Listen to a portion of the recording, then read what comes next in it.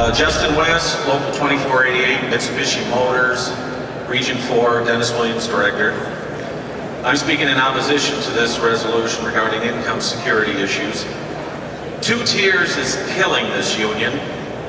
This resolution hardly mentions tiered wage scales.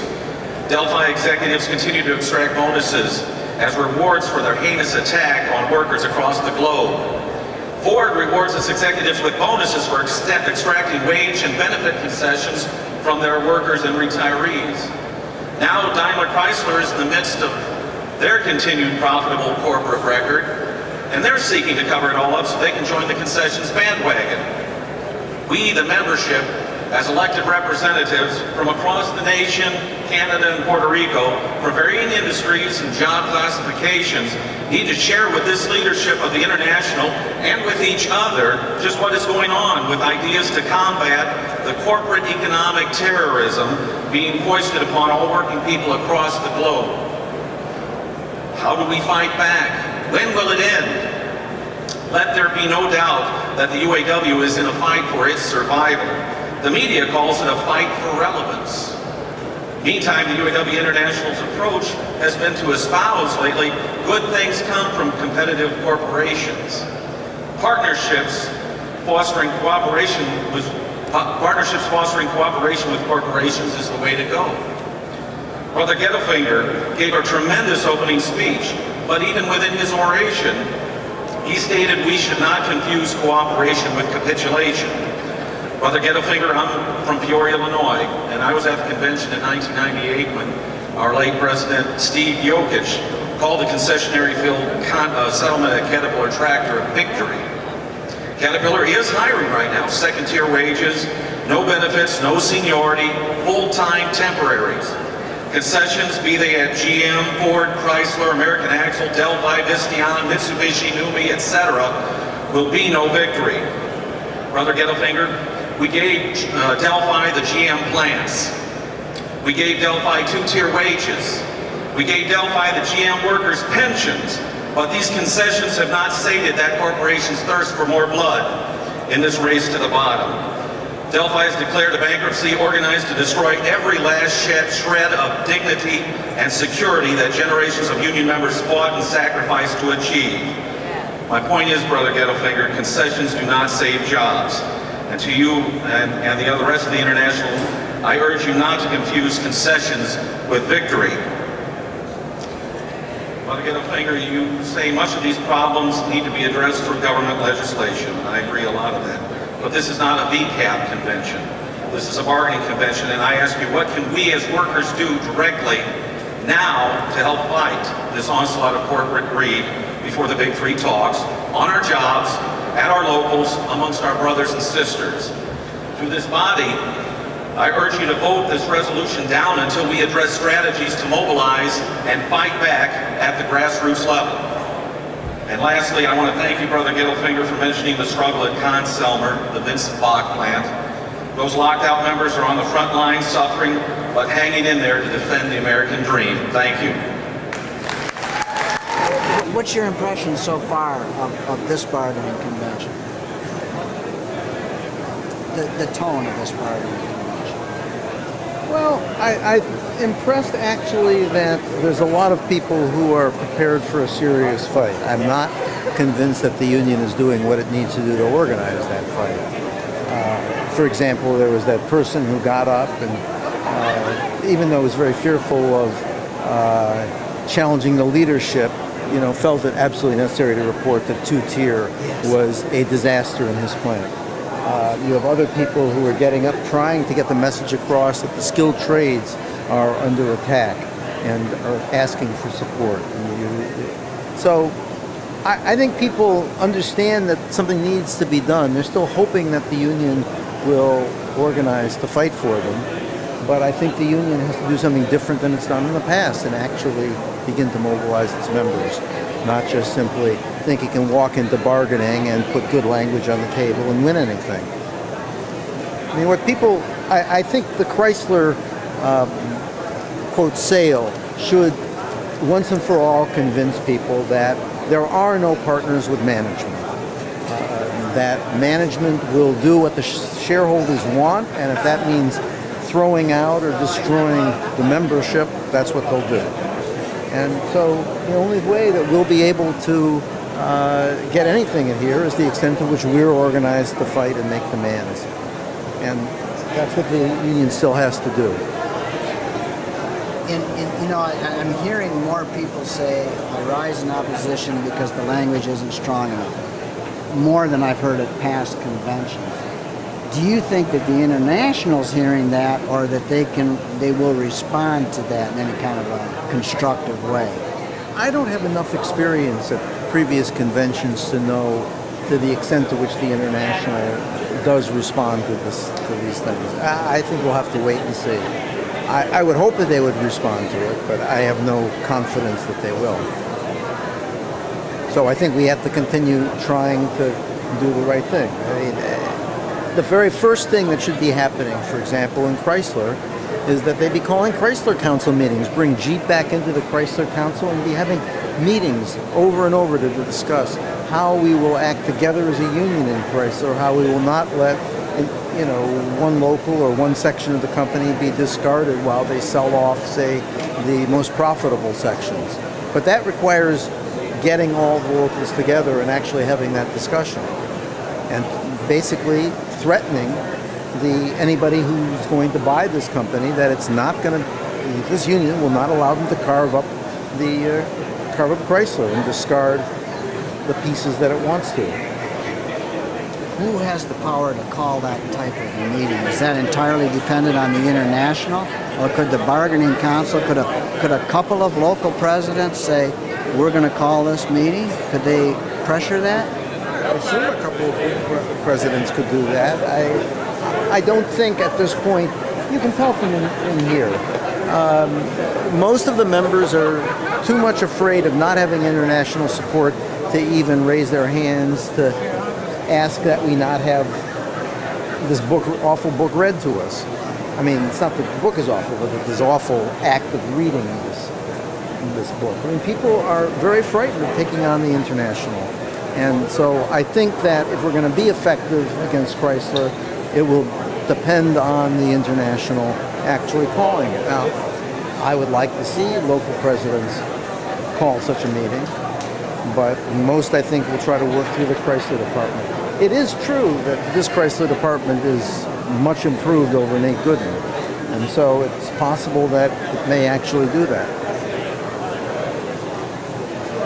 Do you think that uh, you know that Chrysler will be the target? Are they going to set them up first? I, I no knowledge. I mean, it was believed while Chrysler was profitable and before all this sales stuff happened that Chrysler would be the target. But now the GM appears to be profitable, there's talk that GM might be the target, and Chrysler would be too. choose a target. Yeah. So I, I have no idea I, uh, on that. And I've, I've never been right when I have made the prediction. What can we do to, um, as union members, delegates, rank and file, do to pressure the international to meet our needs, and our needs being stronger contracts? I would think that the first thing would be to start with resolutions in locals and then try to organize locals to actually start taking some action in their locals against, you know, acting like a union in the plant where we start having group grievances where everybody puts in, in preparation for this contract, safety and health grievances, uh, work standards grievances, strikeable grievances, uh, so that we can actually threaten, have something to threaten the company with. So to give the company the impression that there's a militancy on the shop floor, There's militancy. I mean, it, just the simple things like people starting to save money so that they can go out on strike. The, the company will not respect anything except a membership that's willing to withhold its labor in one form or another. And as long as they think people are running scared, they're just going to keep laying on more and more of uh, the concessionary demands. This book does not make as a principle no two-tier. No. It in fact does the opposite. It sort of implies that two-tier would be acceptable under certain circumstances. as far as I'm concerned, if the union has to make sacrifices in dealing with certain employers, the most important thing to do is preserve solidarity, and that means equality of sacrifice. And that's how the union maintains its strength. But the problem is that two-tier is the easiest thing uh, for a union leadership to do because it seems like it hurts no one politically, um, namely all the current voters and all the current members and all the current leaders can all go without sacrifice, and the people who sacrifice are the new hires. But once those new hires get into the plant, it becomes just an impossible situation to maintain solidarity. If you're working next to somebody who makes $10 an hour more than you and who voted to keep their higher wages at your expense, don't ask me to defend them when management comes after them. And management will come after them because, after all, if you there's a second tier, well, why not get rid of the first tier then? And so it just increases the probability and the pressure that management will put on the first on, on the higher wages. So you, you lose solidarity. I call it a cancer, and it really is. No union maintains solidarity that has two tier.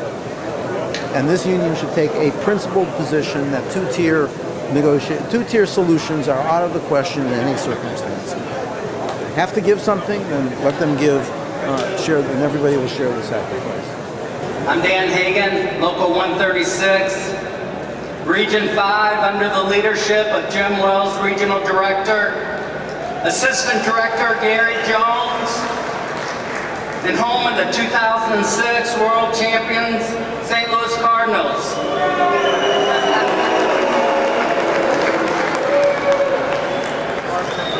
I rise in support of the resolution that the resolution committees brought out onto the floor with 46 million uninsured, underinsured Americans in this country. The past Republican administration for the last six years has not dealt with health care.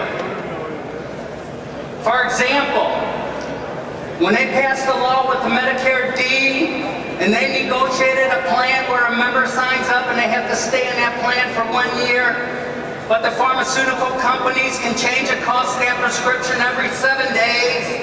That's not in the best interest of the Americans. When the bankruptcy judges rules in favor of the corporations, and they take away the health care of the retirees, and under reorganization, that companies such as the steel workers are making a profit nowadays. Those retirees have lost their health care forever. And the corporations are reaping millions and millions of dollars in profits. Next thing, employers are shifting costs and risks to individuals. And we need to resist such programs, such as the HSA, the health saving accounts, we need to adjust benefits for increases in medical inflation. We need to resist employers' attacks of all kinds on the retirees' health care. The UAW needs to stay committed to a universal single-payer plan to provide quality health care to all Americans, rich, poor, active, and the retirees. Healthcare in this country is not being addressed in the best interest of Americans and is bigger than a corporation and UAW. That is why it's so very important to participate in the VCAP, which strength, strengthens the UAW negotiated contract. Thank you. And I'd like to remind everyone that this, the roots of organized labor, specifically the UAW, are buried deep in the social movement. When Walter Reuther walked in Selma, Alabama, it, with Martin Luther King, it wasn't because he was going to get his picture in the paper, it's because it was the right thing to do. We've been doing the right thing since the inception of the United Auto Workers. And standing by the poor and the lesser fortunate is our job and our duty and our obligation. That's what the UAW stands for. It's Community Action Program. We can't forget our roots. When President Bush created the Department of Homeland Security, he eliminated the collective bargaining for hundreds of thousands of federal workers, stating that their union rights and union power would prevent him from doing his job in the time of duty. 363 firefighters lost their lives on 911. Every one of them was a union member. 363 men rushed back into those burning towers to save people and bring them back out. Went back in again until they were gone. Tell their families, tell the survivors' families that union rules get in the way of protecting people. I'm tired of it. I know this executive board is tired of it. We've got to start standing up. And I only have one question. If union rights prevented the president from doing his job in a time of crisis, what was his excuse after Hurricane Katrina? I stand in favor. I stand in favor of these resolutions. Thank you.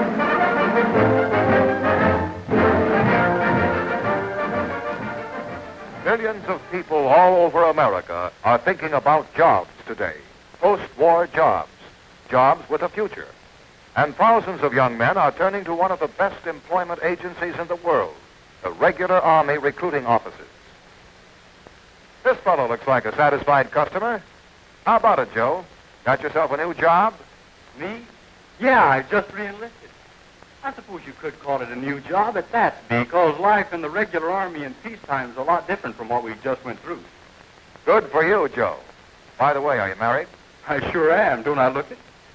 What does your wife think about your re-enlisting? well, you don't see me all cut and bruised, do you? Anyway, she's right over there. Let's ask her. Well, darling, I'm in. How do you like the idea of being an army wife? I love it, Joe. You know that. Oh, I think it's a perfectly grand idea. And am I glad I listened to reason when Joe first thought about signing up.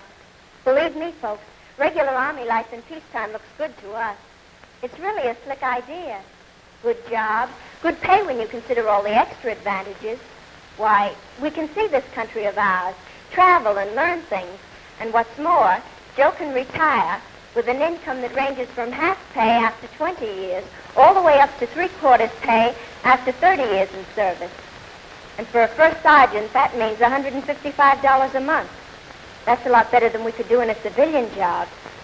So if your boyfriend or husband is thinking about the regular army as a lifetime career, tell him to talk it over at the nearest recruiting office. It might prove to be the beginning of real living for you, the way it has for us.